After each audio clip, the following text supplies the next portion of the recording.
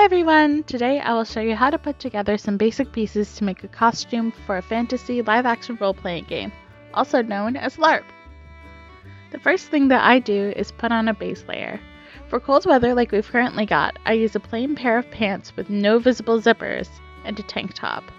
But in warm weather, I use a pair of bicycle shorts and a sports bra. The next step is putting on the largest basic pieces of your costume. For me, that's this large blue skirt and frilly top. At this point, I highly recommend adding any corsets you'll add to your costume. I have this big stretchy belt that I bought off Amazon that looks like a corset.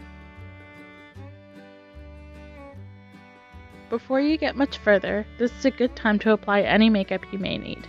For some LARPs, there are racial makeup requirements such as green faces for goblins or gray for dark elves.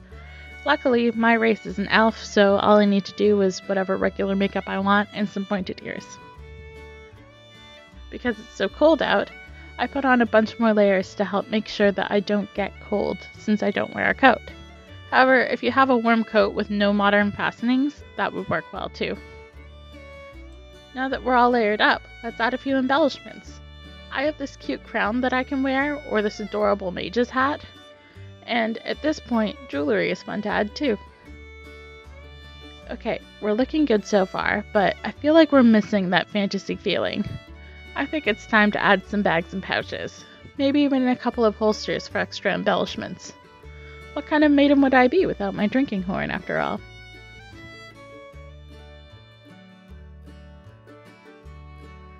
Now that we've got all of our gear, it's time for weaponry.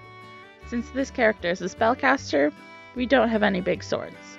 Instead, she's got lots of throwing knives and a couple of daggers, and this enormous shield to hide behind. The last thing we do as we head out is add this amazing cloak that helps to break the wind and keep the cold from seeping into our bones.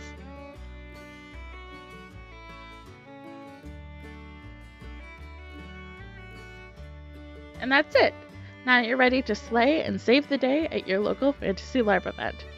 Stay safe and die loudly, adventurers!